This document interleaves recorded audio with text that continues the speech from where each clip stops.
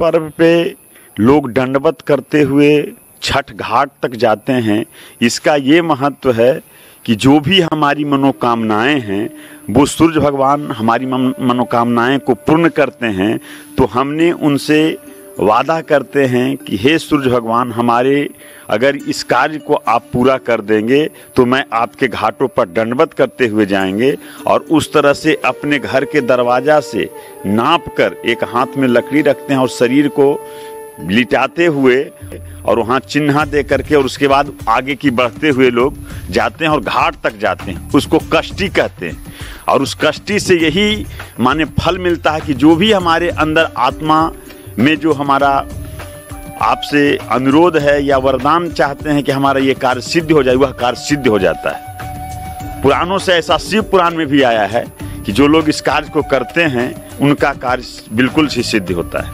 मतलब पहले करते हैं या बाद में? ना माने पहले उनकी कार्य सिद्ध हो जाती है तब करते हैं।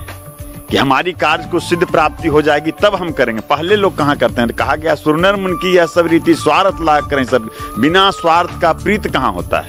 जब हम लोग कहते हैं कि, या प्रभु, हमको ये चीज़ दे दीजिए, तब हम आपका करेंगे। पहले कर देते तो निस्वार्थ हो गया। यहाँ तो स्वार्थ है। बिना स्वार्थ का प्रीत कहाँ है?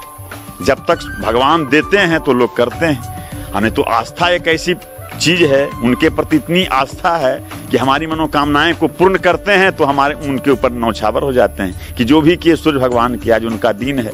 दीनानाथ कहते हैं कि जो भी अगर गलती हो गई तो उसको आप क्षमा कीजिएगा। ऐसे लोग मानते हैं। इसकी इतनी बड़ी महत्ता है। तो क्या ये जैसे दंडवत या कष्टी प्रथा के हिसाब से जाते हैं? तो कोई मंत्र का भी जाप करते हुए जाते हैं? हाँ एकदम? नमः सूर्याय नमः सूर्याय नमः सूर्याय।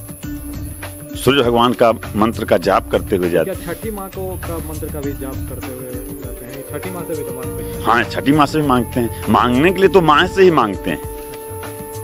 लेकिन सूर्य भगवान तो उनके इष्ट देवता है ना इसलिए उनकी परंपरा ऐसे तो लोग छठी मैया के ही नाम से जिनको जो सुविधा हुआ वो कहते हैं।